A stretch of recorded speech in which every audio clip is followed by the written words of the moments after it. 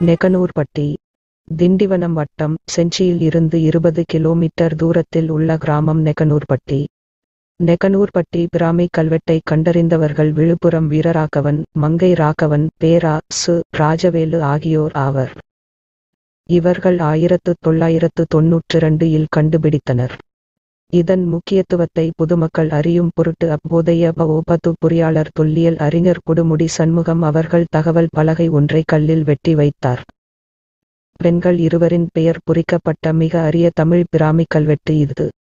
செஞ்சியில் இருந்து ஐந்து கிலோமீட்டர் தூரத்தில் உள்ள கிராமம் நெகனூர்பட்டி. இங்கு ஏரியை ஒட்டிய அடுக்கம்பாறை என்னும் பாறையின் தெற்கு பகுதியில் வலப்பக்கத்தில் இக்கல்வெட்டு உள்ளது. ஒரு சதுரம் போன்று சட்டம் போட்ட பகுதியில் கல்வெட்டு பொறிக்கப்பட்டுள்ளது. சட்டமிடப்பட்டவாறுள்ள இக்கல்வெட்டு கி. பி. புள்ளி மூன்று நான்காம் நூற்றாண்டைச் சேர்ந்ததாகும். இதில் இரண்டு பெண்மணிகள் பெயர்கள் வருகின்றன. சேக்கந்தி என்பவளும் அதே பெயரை உடைய அவளின் மகளின் பெயரும் என இரு பெண்களின் பெயர்களைத் தாங்கியுள்ள இக்கல்வெட்டில் மெய்ய எழுத்துக்கள் அனைத்தும் புள்ளி இடப்பட்டுள்ளன. தமிழ் எழுத்து படிநிலை வளர்ச்சியில் இது முக்கியமானதாகும். கல்வெட்டு வாசகம். பெரும் புகழ். சேக்கந்தி தாயரு சேக்கந்தண்ணி செய்வித்த பள்ளி.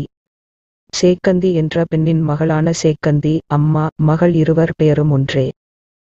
இவர்களின் ஊர் பெரும்புகை இந்த ஊர் இப்பொழுதும் அதே பெயருடன் செஞ்சிக்கருகில் உள்ளது. பெரும்புகை ஊரைச் சேர்ந்த சேக்கந்தி என்ற பெண்துறவி வெட்டி கொடுத்த பள்ளி என்று பொருள். சமண சமயத்தில் பின்பால் துறவியரை கந்தி என்பர். சிலப்பதிகாரத்தில் கோவலன் கண்ணகியுடன் மதுரை சென்றவரும் கவுந்தி அடிகள் என்னும் துறவியார் ஆவார். இக்கல்வெட்டின் பக்கவாட்டில் இயற்கையான குகைத்தளத்தில் பாளி என்று இப்பெண் துறவி வெட்டிய படுக்கைகள் உள்ளன.